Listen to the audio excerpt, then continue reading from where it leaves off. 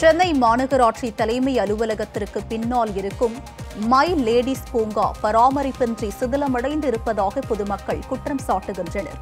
சென்னை மாநகராட்சி பராமரிப்பில் இருந்து வரும் மை லேடிஸ் பூங்கா செயற்கை நீரூற்றுகள் அழகிய சிலைகள் புல்தரைகள் அரிய வகை மரங்களோடு ரம்மியமாக காட்சியளித்தன. ஆனால் தற்போது இப்பூங்கா சரிவர பராமரிக்கப்படாததால் பழுதடைந்து காட்சியளிக்கின்றன. அங்குள்ள நடைபாதைகள் பொதுமக்கள் அமரும் இருக்கைகள் உள்ளிட்டவை உடைந்து சேதமடைந்துள்ளன. பூங்காவை சுற்றிலும் நாய்கள் சுற்றித் திரிவதால் அங்கு வரும் மக்கள் அச்சமடைந்துள்ளனர்.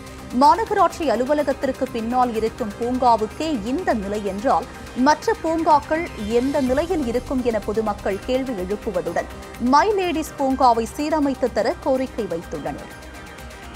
சென்னையில் இது பெரிய பார்க் இது. அதாவது முதல் முதல்ல சென்ட்ரல் பக்கத்தில் ஸ்டேடியம் எல்லாமே சேர்ந்து ஒரு பெரிய மிகப்பெரிய பார்க்கு இன்றைக்கி சீர்குலைஞ்சு தான் போயிருக்கு. நடப்பாதை சரியில்லை டாய்லெட் சரியில்லை நாய்கள் தொல்லை. இது பத்தாவதுக்கு வர பாம்புங்க வர இருக்குது இப்போது நிறைய பாம்புங்க இருக்குது. வனத்துறை மூலிமா அந்த பாம்புங்கள்லாம் கொஞ்சம் பிடிச்சி கரெக்ட் பண்ணால் கொஞ்சம் நல்லா இருக்கும்